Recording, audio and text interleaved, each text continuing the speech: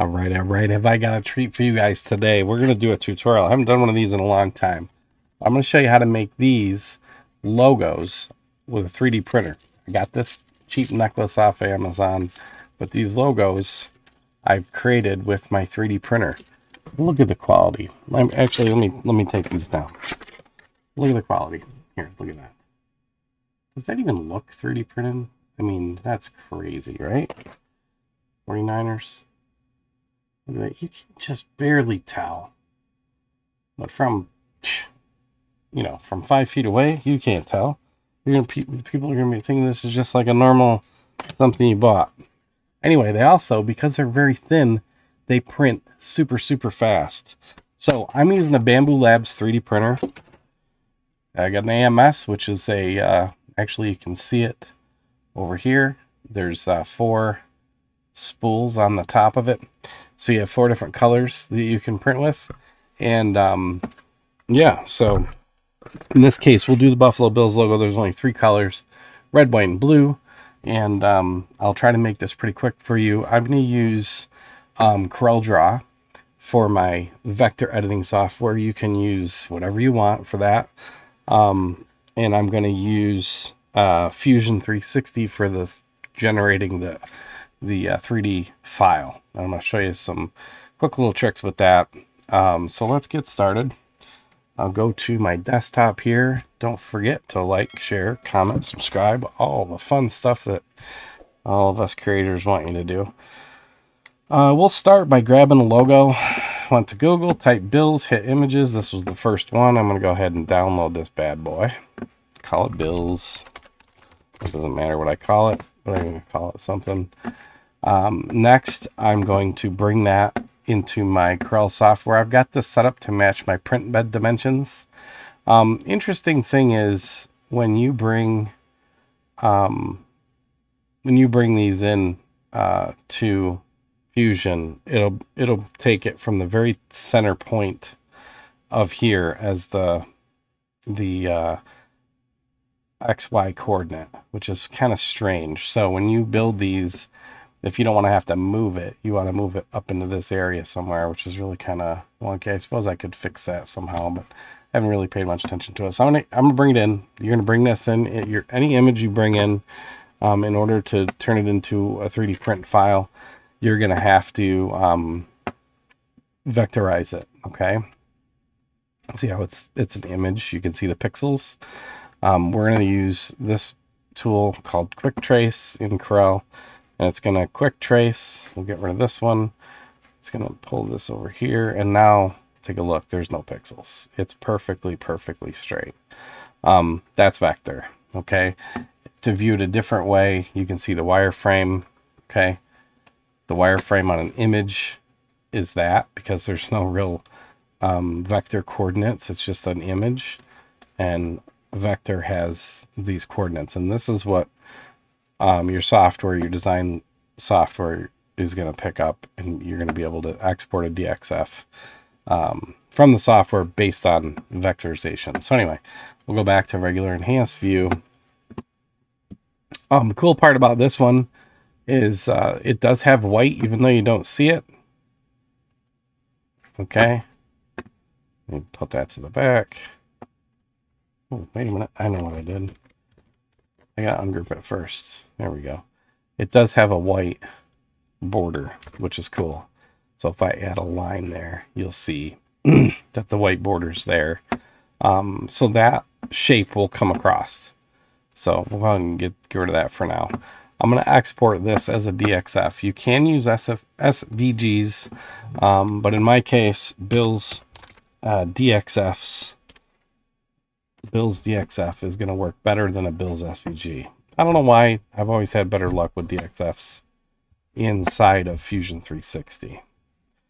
Okay, so I've exported it. I'm going to go to Fusion 360. This is a fresh, a fresh layout here. I'm going to turn my origins on. I'm going to see how my Z, X, and Y are a little off. I want the front to be on my X-axis, so I'm just going to change this to the front. And now this will be my bed. And I'm going to go ahead and insert that DXF. I gotta find it. Select from my computer. There it is. Bing, bing, bing. And there it is. There's my, my bills. Um, there's my bills uh, DXF. Now, if you notice, like I said, it brought it in as a, as a, uh, you know, off of that middle piece. So which is kind of weird, but anyway, so there we go. You might want to move it to the right just a touch. There we go. Now, the trick in Bambu Studio, which is the software that comes with a Bambu Labs printer, you have the ability to paint. Like I can tell it, I want this to be this color, I want this to be this color, I want this to be this color, this to be this color, and so on. So in order for that to happen, you have to establish those um, those areas. And if you look at, well, I'll, sh I'll show you in a minute. Um, if you, the way it works is it's looking for those boundaries. So you have to kind of trick it. So how I'm going to do this is I'm going to extrude the entire panel here. Okay, the whole thing. Um, the exact thickness that I want. Now this thickness that I did this at is 1.2 millimeters. So it's only like sixth layer or something like that. Um, so I'm going to go negative 1.2 because I want it to go down. And you'll see that it's created um, the 3D print now. If I printed it just like that, that's what you would get.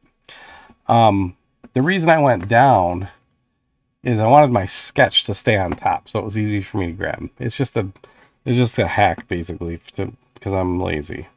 Um, so I'm going to extrude again, and I'm going to extrude the other colors that aren't white. Like everything on here is going to be white, with the exception of these other things. That's going to be red. This is going to be blue. That's going to be blue. That's going to be blue. And then I'm going to take that and I'm going to extrude that negative 0.05. Okay, just enough to scratch the surface. If I hide my sketches, you'll see that, yeah, you can see it, but it's so negligible. Remember, you're, you're printing at 0.2 millimeter layer height, so 0.05 is literally nothing. Um, so anyway, there we go. I'm going to export my body. This is my 3D print. I'm done. Save as a mesh. Um, we're going to go ahead and call this uh, bills. Bills. Okay. Go to, go to Bambu Labs. I'm going to bring in the three, the Bambu Studio file, which is uh, 3MF or STL, whatever you prefer. And now you'll see that it's in it's actually already defaulted to white. I can change that to whatever I want, but I'm going to leave it white because that's how I that's how I built it. I built it white. Um, my colors go on the other side though. So we've got it here. We've got to paint this up. I want to tell this software what colors I want where, and here are the corresponding colors in my that are loaded in my machine. The first one is here. And I've got this selected for fill. I've got edge detection selected. And I'm not going to change anything else. So the parts that I want blue are going to be this part, this part, and this part.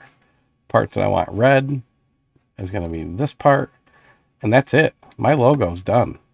My logo matches the logo online. It matches the uh, filament colors in the slots that I have them picked for. Um, and that piece is over. So the last thing you want to do is flip it. We're going to print the colors first, and then we're going to let the white fill it into the back, and then we're going to be done. So I'm going to flip it over, green, 180, and there we go. Now the top of this is going to be um, white, and when I slice it, I'm going to be on preview and there's six layers, like I said. We're down to layer four, so there's two layers of white, three layers of white, and three layers of white, red, and blue. And there you have it, folks. That's it. Print away, and then you'll have it have it done so.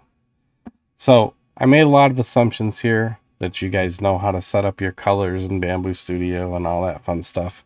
But that's how I make these um, these little guys. And they print so fast, like 20 minutes, something like that. They're so cool. Um, you could do all kinds of stuff. And you can also do uh, different colors. Like for my for my Niners one, I printed the base in black. Now, the problem I ran into with black is that it's so thin, the color layer is so thin that the black actually changes the color. And when you're doing something like, hold on one sec.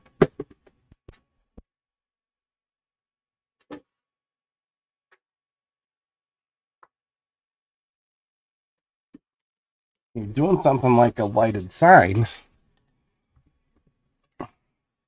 Okay, you want the colors to pop and you also want to distribute the light easily. So that's the same method that I did. There's another video on this. I'll link it somewhere. Um, how to make these lights. And it's the same concept. And they print so fast. It's ridiculous how quickly these things print. Um, and for the bang for the buck, you get a cool little product. You can make it quick and uh, that's it. That's all I got. If you guys have any questions, leave them in the comments below. Um, thank you for watching, and we'll see you next time. Peace out.